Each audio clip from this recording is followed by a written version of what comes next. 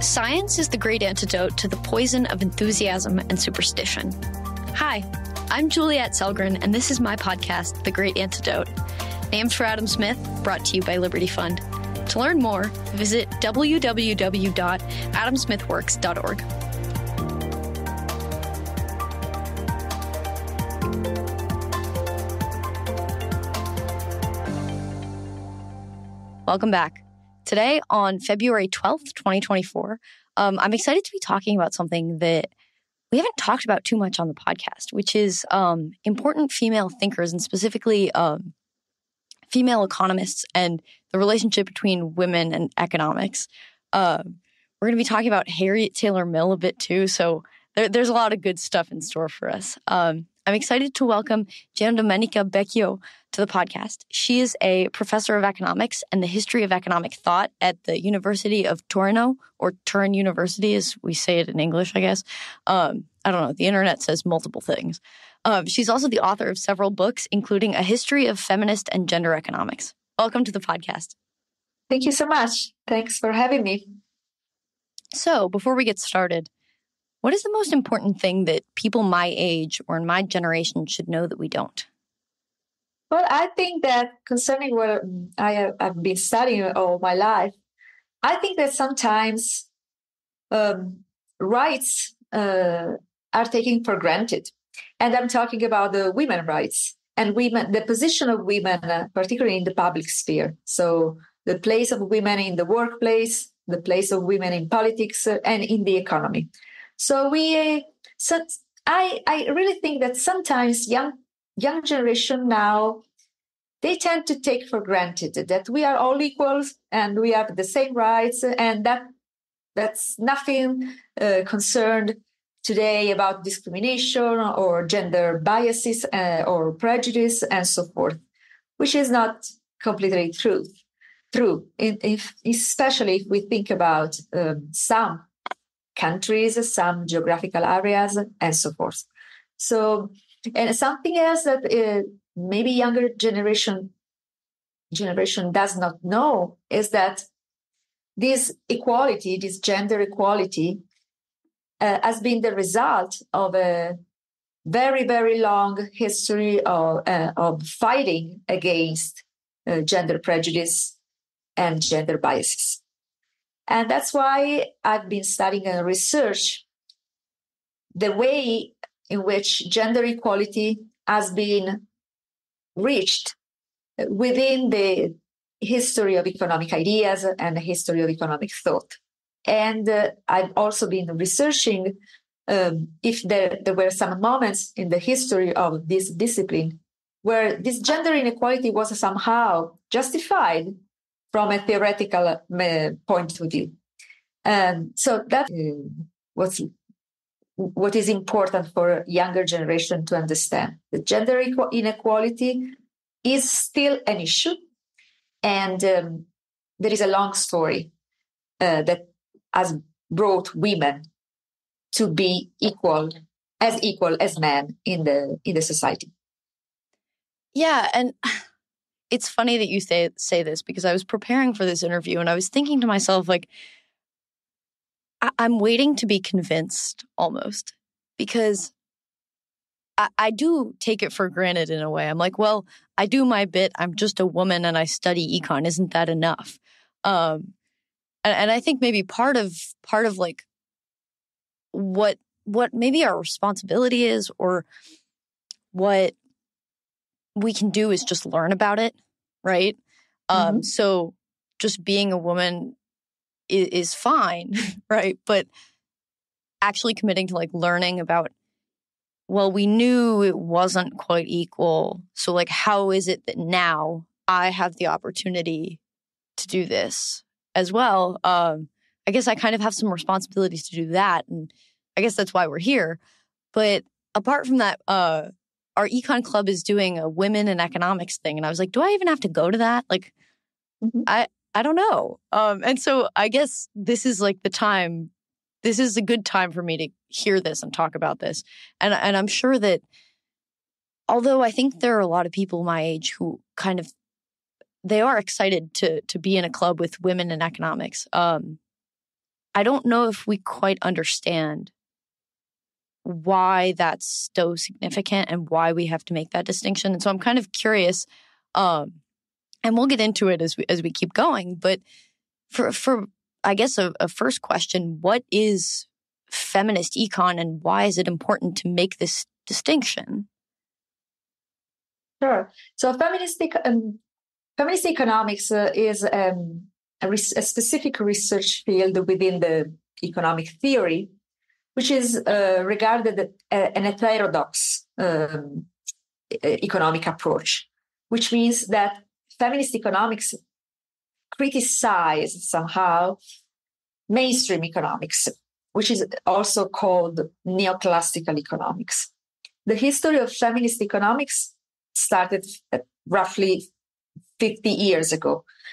But be- before going into the history of feminist economics, the aim of feminist economics is to uh, highlight that in the in the market, in the economy, and in uh, in the social institutions such as the family, there was a division of labor which was inefficient and unfair because it was an, a, a division of labor basically based on women as care providers, caregivers, and men as breadwinners. This means that women were basically relegated within the domestic sphere, providing care for the family, but care is an unpaid work. And when a few decades ago women started to enter the job market, their uh, situation somehow got worse in, in this sense. Women, since then, were forced to carry the so called double burden. So they performed in the, in the marketplace, so they, they get a, a job and then they uh, succeeded in in not just in getting a job, but also in in um, growing up as uh, workers. So in making a career in any field, in any possible field. Nonetheless, the burden of caring the of the for the family is was and still is almost totally on women so feminist economics, sorry, while mainstream or this division of labor as an efficient division of labor by using the theory of comparative advantages the, the approach the feminist approach to these gender issues within economics criticize the, the neoclassical or, or mainstream perspective. By pointing out that the division of labor within the household, as well as the division of social roles in the public sphere, is not efficient because uh, it implies a, seg- a kind of segregation of women into a specific role, the role of care provider. Yeah. Besides the fact that it's not efficient, it's also unfair. And why mm-hmm. it's unfair? Not because it's a matter of taste, because for for mainstream eco- eco- uh, economics, women are care providers and men are breadwinners because uh, because they like to, to to be like that. It's just a matter of preferences. It's just a matter of tastes, personal preferences feminist econ- economics underlined that very often these kind of social roles are not just a matter of preference but they are very often they are the result of gender biases gender prejudice social pressure and so forth especially in some period of, of the history of humanity and in some geographical area so um, this is the main, um, let's say, difference between feminist economics and mainstream economics. And, and so it's a combination of feminist feminism and economic theory. So using economic theory in order to explain uh, feminist stances, which the, the, most important one is, of course, gender equality. Not just in the marketplace, but also in the, within the household. Yeah, I guess like I, I learned about this a while ago. I, I took a class on um on, on the USSR and, and, they talked about the double burden a lot where mm-hmm. under Stalin there was this idea of well women have to work as equally as men but the the burden of because the Politburo was all men and they, they especially like I mean, the they didn't understand, but also GDP measurements don't even take this into account. So the way Absolutely. economics is structured leads you to not be able to see um, or measure or compare um, certain things. I guess because in part it was created solely by men or with a certain thing in mind, right? Like money. If you're using money as a form of measurement, then it's hard to measure monetary value of something that doesn't have one. You know. Precisely. Yes. Well, so, the, the yes. Yeah. Yeah. Yeah. Go ahead. Yes, the idea that um, there are, there is something that you can't measure in a traditional way by using money, for example, which is uh, everything that is connected with uh, the emotional sphere, let's say so.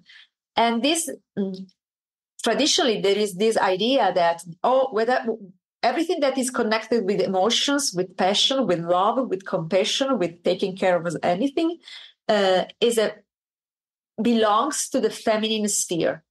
While everything that is connected with uh, competition, uh, bravery, uh, um, hard work, uh, self-made uh, man. so this is a very dichotomical way of thinking about society.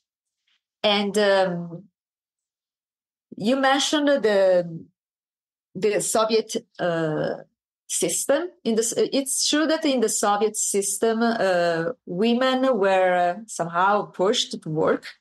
But it's also true that if we uh, consider data of, of the time, uh, Soviet Union was one of the of the most uh, of the worst country in terms of gender inequality uh, for two basically for two reasons. The first one is that uh, men never uh, never take, took responsibilities for uh, the the household on, on one side, and then on the other side, women were forced to uh, work in some specific uh, job sectors, uh, which were less paid and uh, they barely uh, were able to make a career. So, and these are two phenomena which are also common uh, almost everywhere, even today. Uh, but in the Soviet Union, it, that was very, very impressive.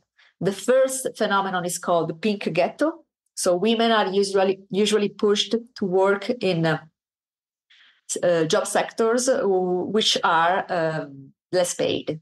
And they are uh, health sector so they, they work like as nurses uh, in, in, in the hospitals uh, in the in the in they the gardens to sectors are the less paid. Uh, this is the first phenomenon. The, sec- the second phenomenon uh, is is called gla- glass ceiling which means that women um, faced a lot of hard uh, a lot of difficulties to uh, make a career, uh, to break this glass ceiling. And this might be um, a, an effect of discrimination or self constraint. Self constraint, which is uh, basically uh, the effect of the fact that women again are taking care of the, of their families of the household and so they are very often uh, ready. Uh, they tend to uh, work part time. They tend not to go abroad for missions or whatever, they tend to not to perform extra hours because they have something something else to do um, in their household, and and this this set of uh, conditions makes very hard for women to build up a career.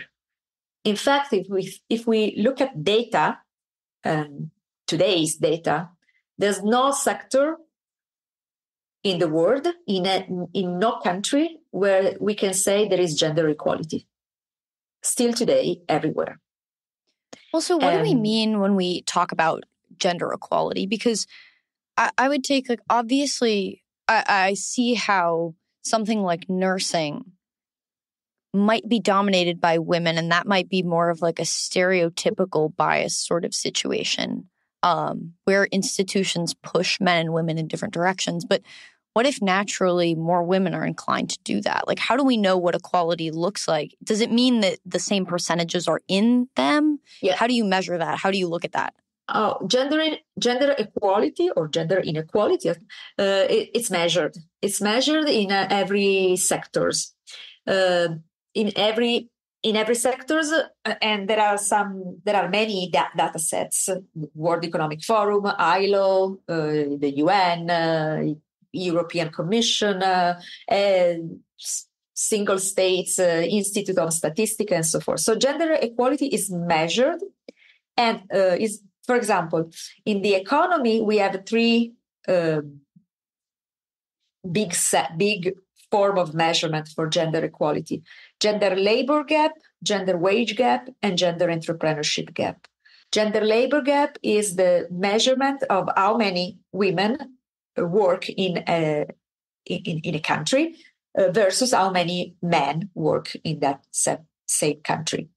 Uh, gender wage gap is the different wages, um, different wage uh, gained by a man and a woman who are performing the same uh, job uh, at the same level. And uh, uh, gender entrepreneurship gap is the, the, difference between the number of female entrepreneurship and, and, the number of men entrepreneurship. So uh, we have data, huge data, data sets, and uh, we count basically the difference, the gender differences. And as I mentioned before, uh, still today, there's no gender uh, equality in any single uh, sector, uh, almost everywhere in, in, in the world. Uh, so there is a classification of countries where gender equality is higher and from the from the top down to the bottom. Scandinavian countries usually uh, are in the top positions, uh, while uh, this year's re- this year re- report uh, in this year report, if I'm not wrong, it's Afghanistan, the, the, the country where the gender inequality uh, has reached uh, the maximum grade, the maximum value, let's say so. Um, besides the economy, uh, we have we measure gender equality also in politics uh, by measuring the different number of men and women in the parliament, as head as, as premier, as uh, mm, head of states, and so forth.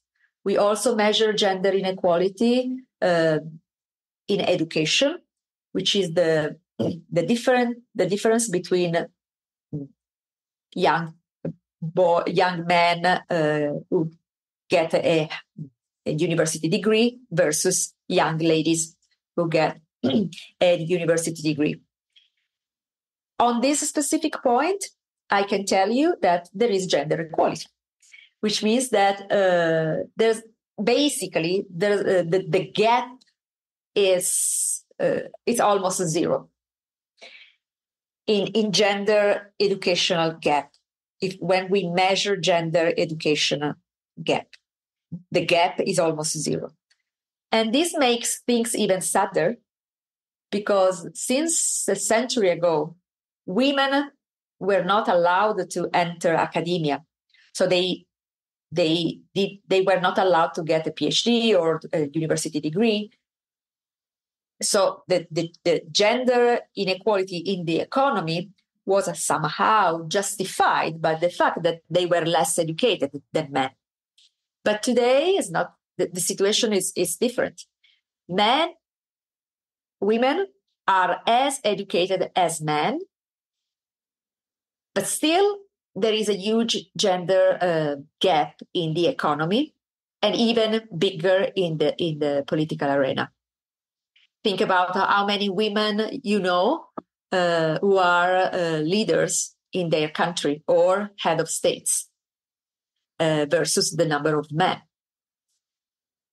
so this this there is this is the, the the, the most important thing every time we talk about gender equality we have to take um, we have to be very careful and very focused on data. Data are very important. Uh, otherwise, it's just, uh, you know, uh, it might be something related with ideology or uh, political political stances. Not. We are talking. We are talking about numbers. We are talking about measurement. That's why economics it's important uh, because in economic theory we, we are used to combine theory and empirical studies uh, and we started with data, we started with number in order to, you know, first of all, show the problem. And, and second, try to explain the reasons behind this inequality. So I, I kind of want to back up to how this this field within economics even emerged. Um, was there a woman economist or just a was there an economist generally maybe who was interested in this that kind of started looking at this measuring this how did this issue come about as a question for economics to deal with and who dealt with it? And i guess then we kind of know how it's being dealt with today but we can kind of move on into i don't know solutions and culture and kind of like name. Uh, but we, we have many founders of feminist uh, uh, economics, but we have a very important name for uh, in the history of gender issues within economics. On the other side, though, on the mainstream uh, side of the of the story, Gary Becker. Um, one of the most important Chicago economists in the 60s and in the, in, in the 70s, he started to, to write about gender issues, tried successfully to um, explain the division of the traditional division of labor between men and women within the family and outside in the market as efficient. As I mentioned before, many economists, especially women economists of the time, started to react against this uh, explanation. And they founded, uh, and they started to write against this justification of the traditional division of labor between genders, basically. Uh, and they, and in the 90s, Gary Becker got the Nobel Prize for economics. And uh, so the is economics of the family is uh, is gender uh, economics became very popular so feminist economists decided to found uh, a, an association uh, to found a new research field, feminist economics. So the International Association of Feminist Economics was founded in 1992, one year after the Gary Becker won the Nobel Prize. So this is a, a very recent story although there are so many women economists in the past um, who were um, uh, focused in in in underlying the general uh, the, the so-called subjection of women.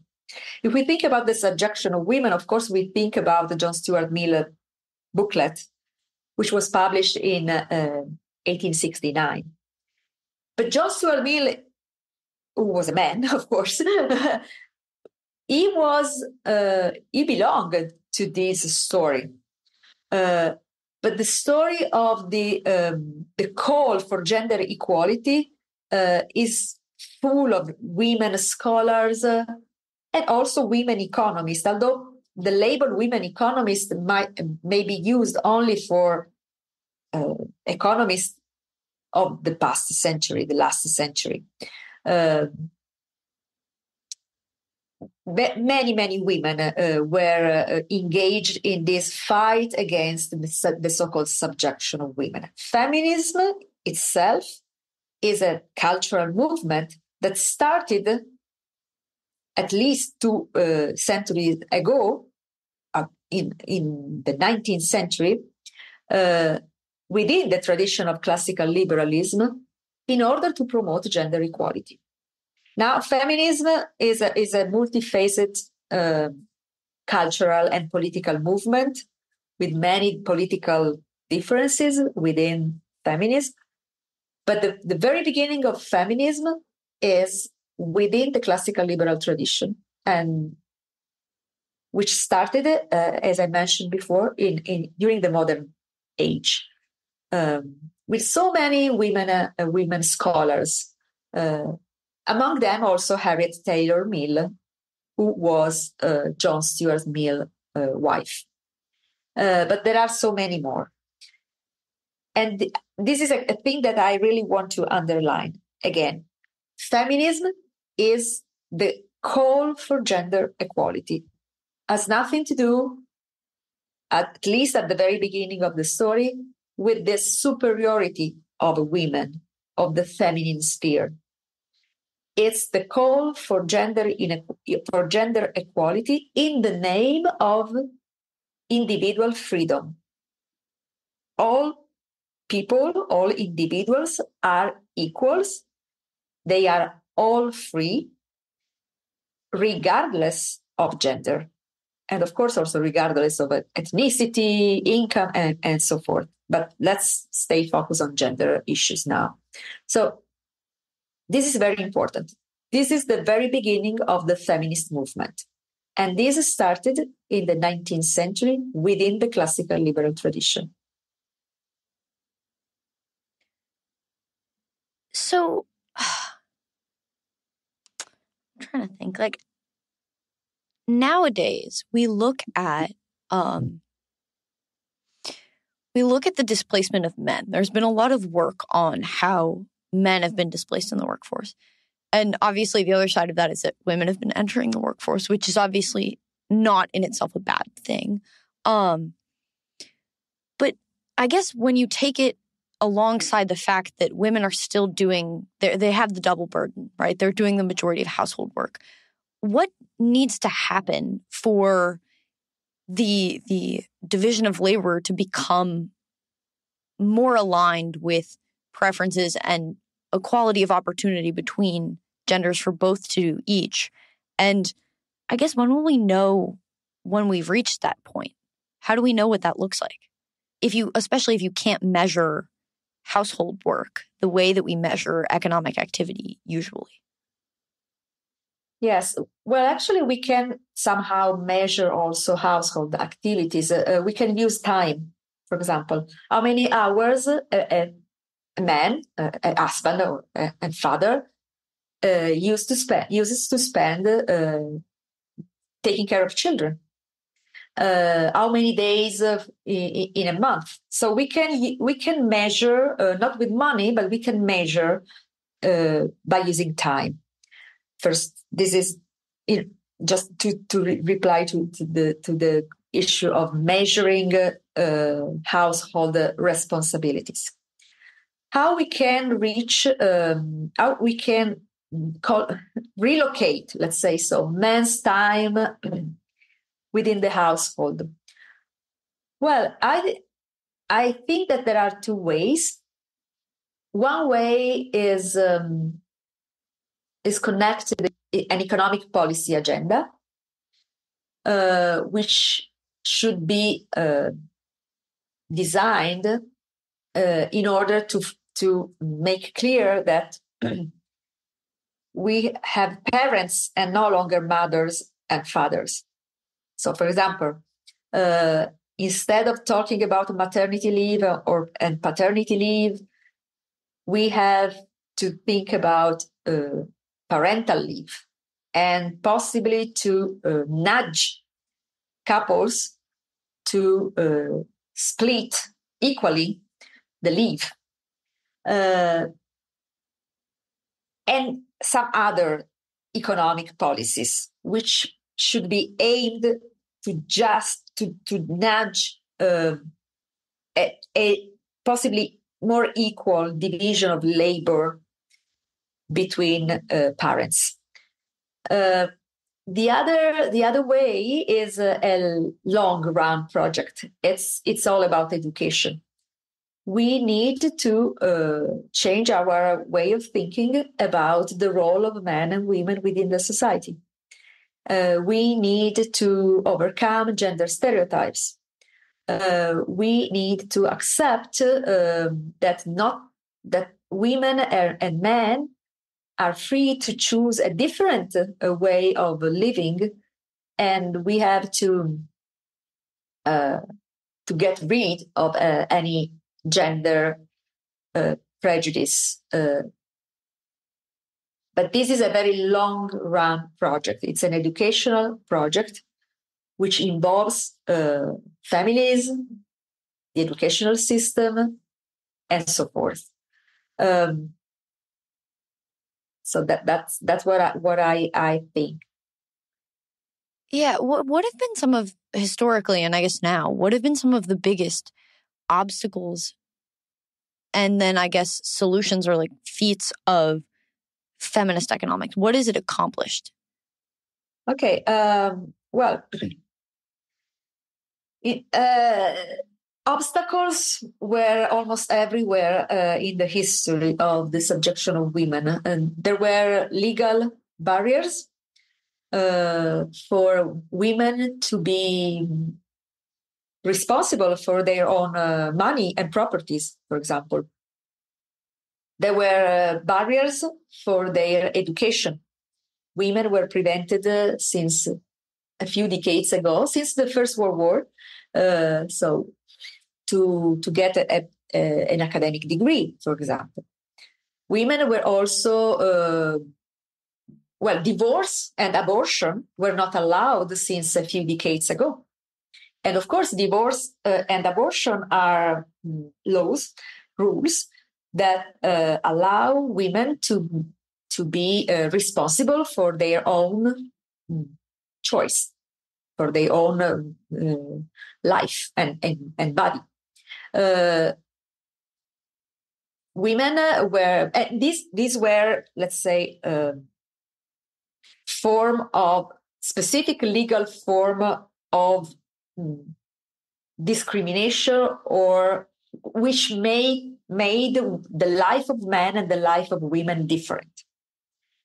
And then there, there, there were, and still there are, some uh, traditional uh, way of thinking uh, which consider men and women different, not from a bio- biological point of view, which is, of course, uh, nobody is uh, is going to uh, deny it, but um, the idea that a, a woman may, uh, as uh, a man, uh, and vice versa, is still is still a, in some context may might may be still a, a stereotype. So a woman might be an astronaut. A woman might be maybe a, a may perform a typical masculine uh, job. A woman may be the president of the United States. Um, but how about a man who wanted not to work outside the household, who want to perform the traditional uh, figure of care providers? Uh, I, I think that there is a, there's still today kind of stigma against uh, this um, this uh, choice made by a, a man. Uh, so feminist economists uh, in, in the past three or four decades were able to mm, to make clear that gender inequality still persists and we need some form of uh, you know uh, some way of reducing this gender uh, equality. Of course, there is no consensus, general consensus on the possible tools, the possible instruments uh, for making a gender equality agenda. But for example, uh, we, uh, the international organization, we, uh, we, gender equality is one of the aim uh, to to reach sooner than later. And and I think that this uh, political uh, agenda is important because when I was younger, much younger, when I was a, a, a teenager or a young mm, student at, at college, I, have been also always a classical liberal. So I was against this kind of, uh, you know, uh, discourse. I was even against feminism, not against, but not very sympathetic, because I, I, I was totally uh, I be, I totally believe that uh, gender has no importance. We are all individuals, and if we are free and if we live in a free society, everybody is gonna flourish. Uh, if you can uh, fulfill your dream, you will be free to reach whatever you like, regardless of gender. So there's no need to to push for a feminist agenda and so forth. But um, now that I I grew up and I became old, much older, uh, I must say that uh, unfortunately uh, this is not enough. I mean, we all agree on the fact that individuals are all equals and if they are lucky enough to have been born and live in a free country, they can flourish and they can fulfill their uh, dreams, their attitude by following their attitude and so forth. But it's also true that discrimination persists and that there are so many stereotypes, there is social pressure, and these factors, cultural factors, are very important. So it's very important to make it clear that we need some feminist agenda.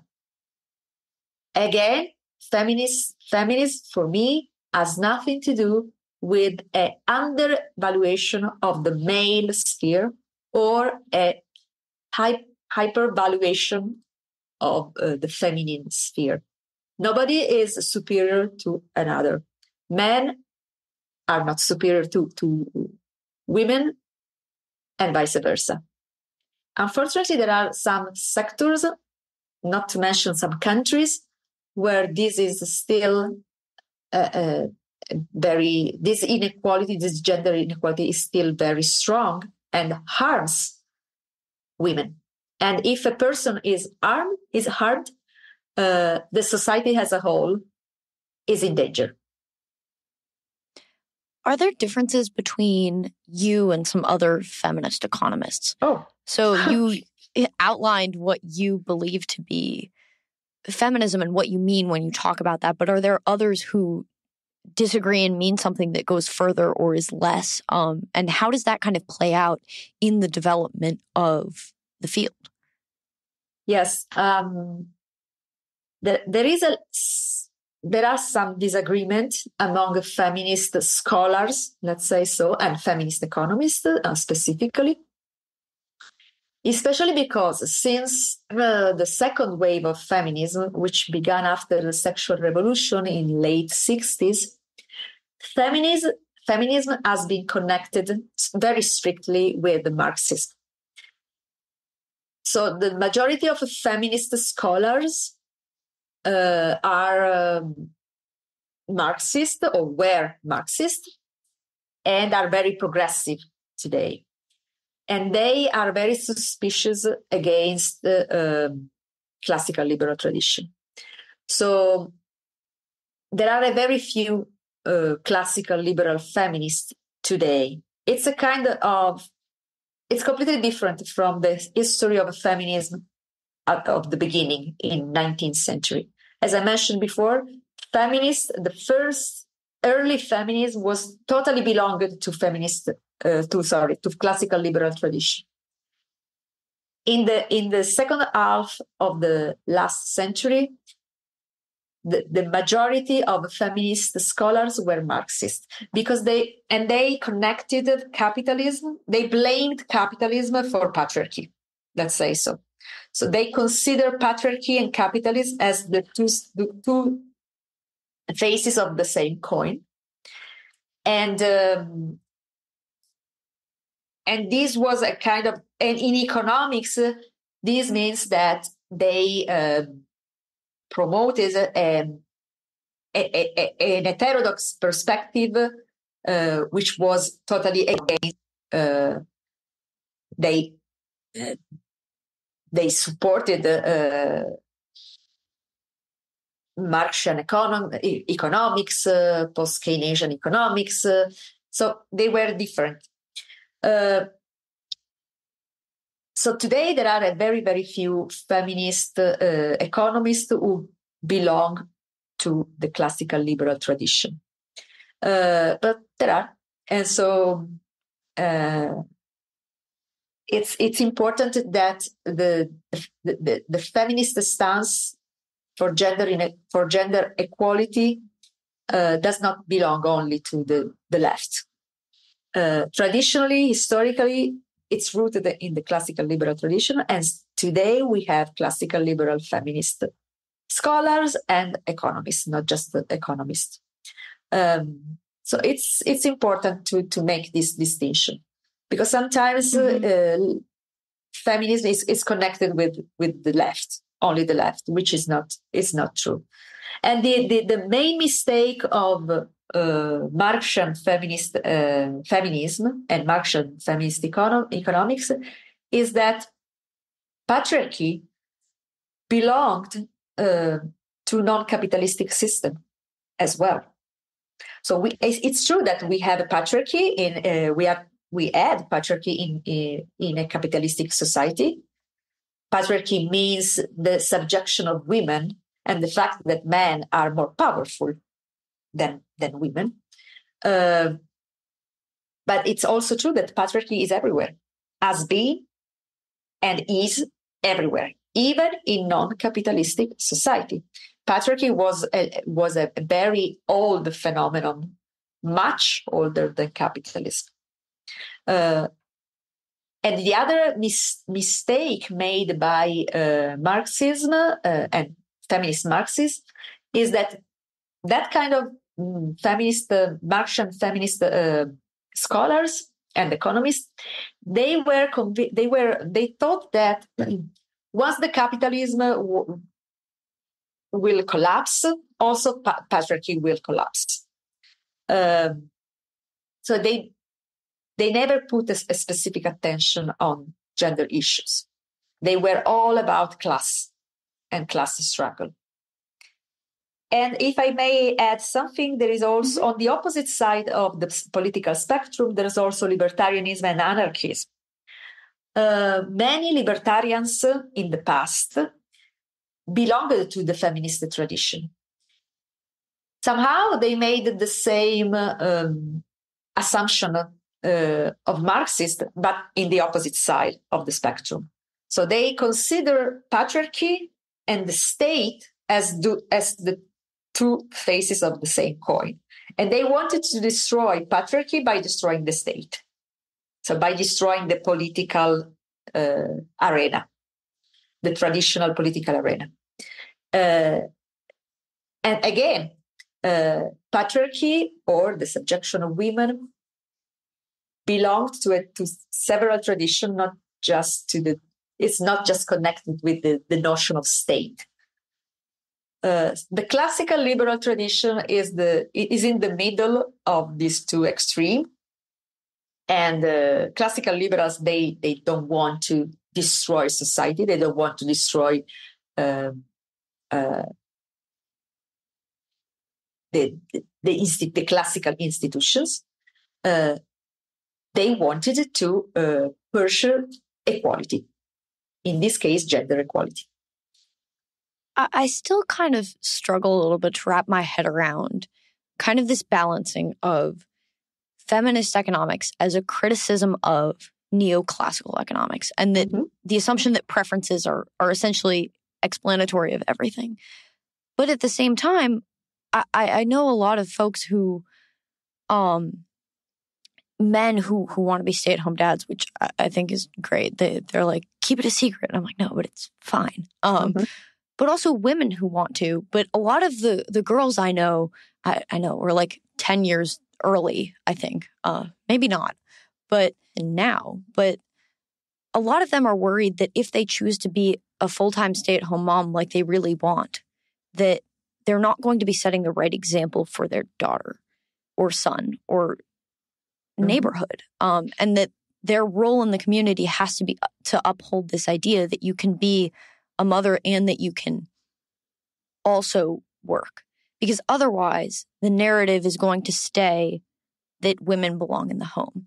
And I understand this this kind of worry, but isn't that kind of a hard line to toe too far? Because if a woman wanted to hypothetically stay home or not at all, isn't it isn't it hard to not become destructive if you want her to set an example or if she feels as though in order to go against the narrative she has to do something that is not aligned with her preferences.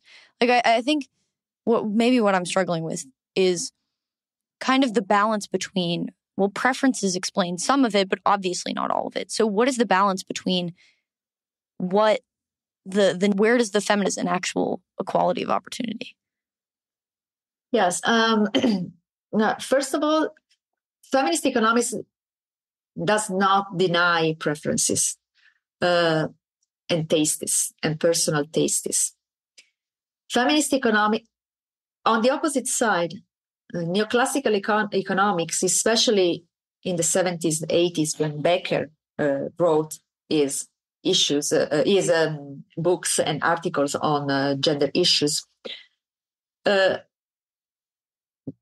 neoclassical economists, they consider tastes and preferences as the only possible way to explain division mm-hmm. of labor. Hmm? So this is the first point. Uh, so it's important to uh, to underline that sometimes we are we think to be free, but we are actually uh, influenced by uh, social pressure and gender stereotypes, or there is actually discrimination.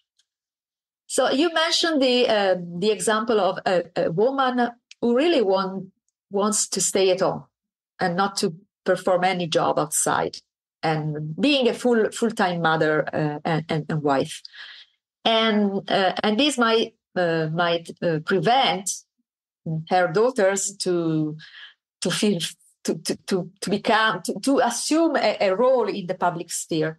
Well, I think that. Um, we every every every person uh, every parent sh- should um, promote the happiness of their uh, of children daughter and daughters and sons so there's nothing wrong in in preferring to be a full-time mother or a full time father. There's nothing wrong in not in, in, in not wanting to be a mother at all. Nothing wrong. The only thing that is wrong is to not to follow our own uh, desire and um, dreams. So there's no there's no cultural agenda to follow. We don't have to reduce our personal freedom in order to fight for the right fight. The right fight mm-hmm. is to be free.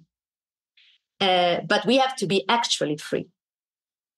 So, how, how much is the degree of freedom in a society where there is gender discrimination? Um, it's a real it's really a, a, free society. And if the, the society is not entirely free, it's not possible that we uh, individuals are free because the society is the sum of individuals. Uh, so again, the the main the, the main difference between feminist economics and neoclassical economics, especially in the 70s and the 80s, is that personal preferences stay there.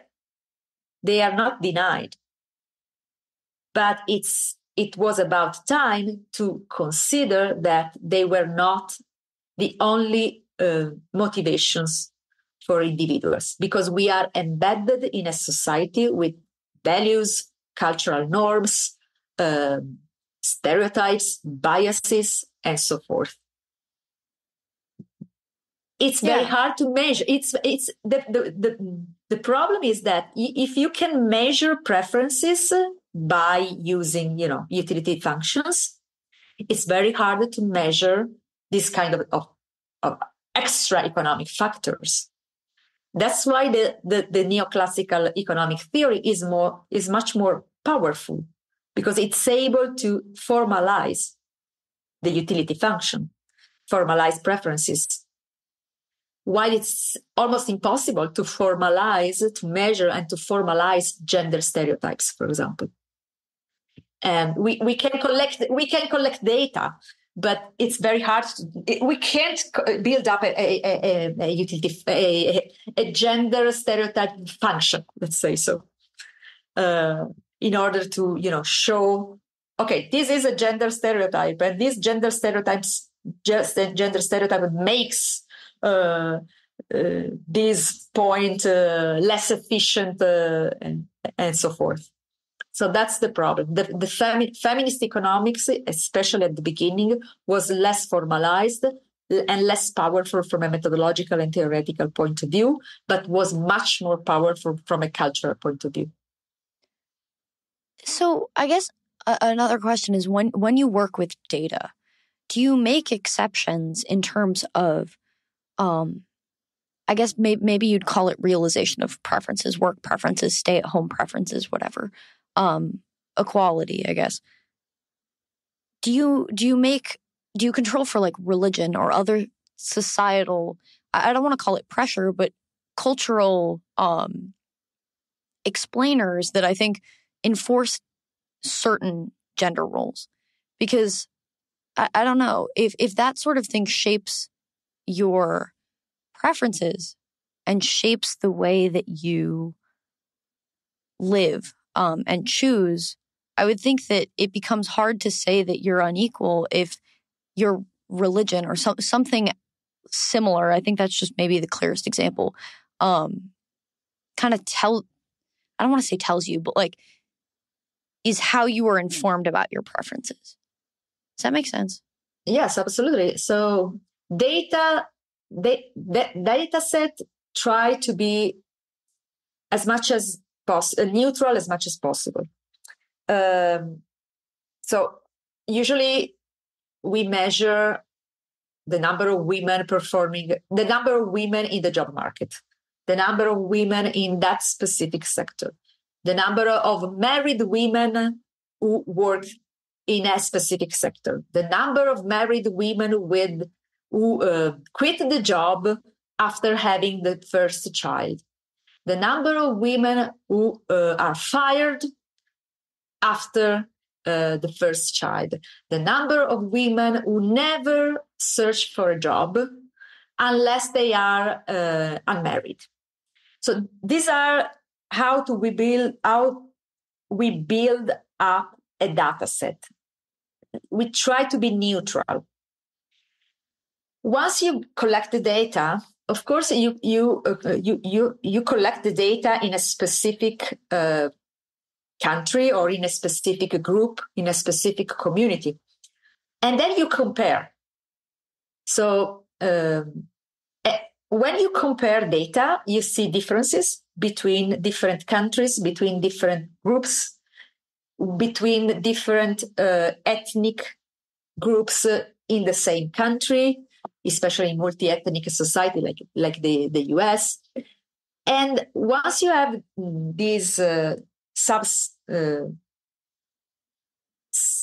this data, uh, you can compare and you can uh, choose to uh, be focused on a specific extra economic factor or cultural factor, such as religion, for example. Um, or uh,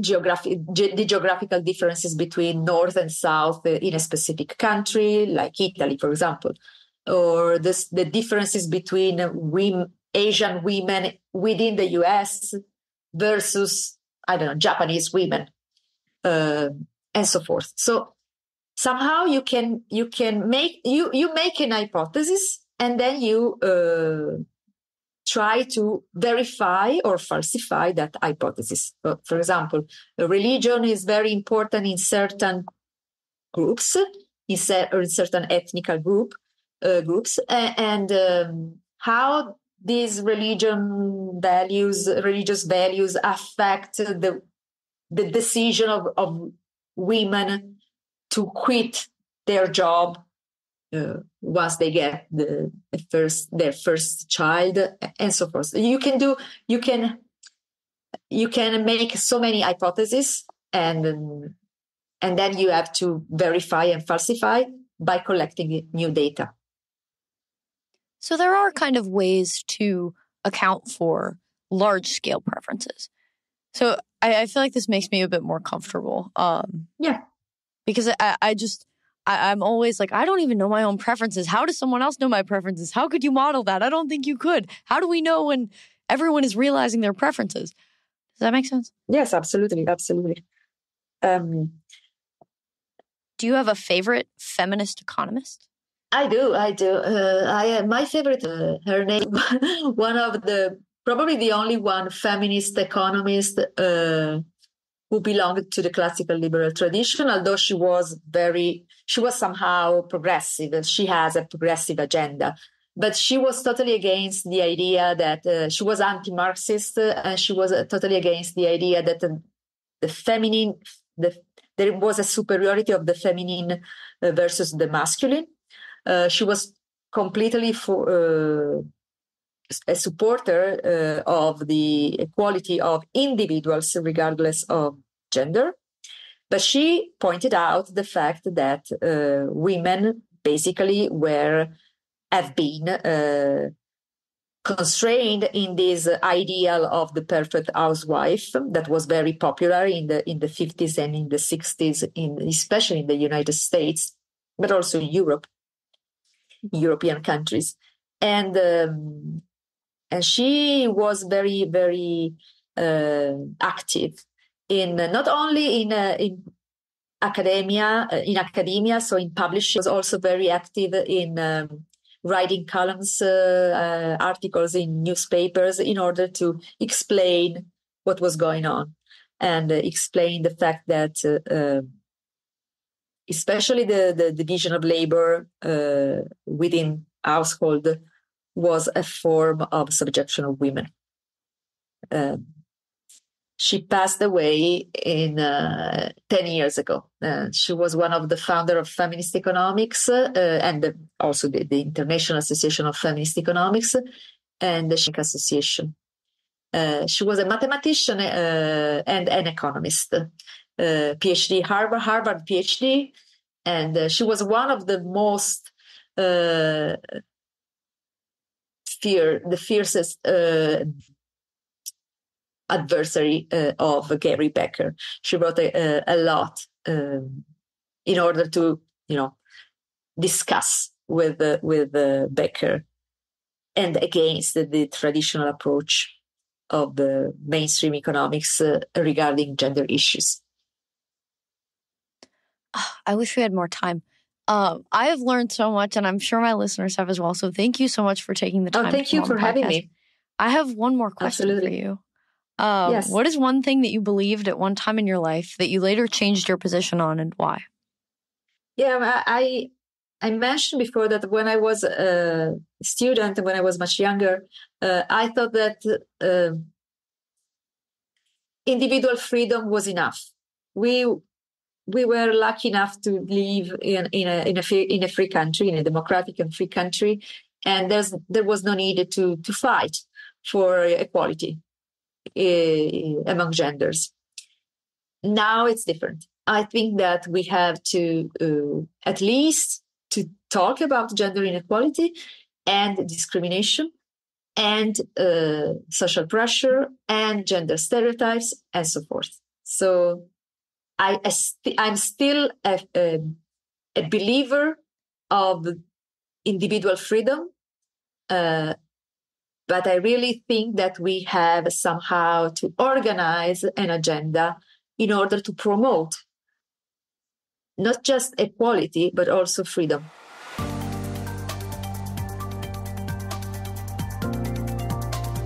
Once again, I'd like to thank my guests for their time and insight. I'd also like to thank you for listening to the Great Antidote podcast. It means a lot. The Great Antidote is sound engineered by Rich Goyette.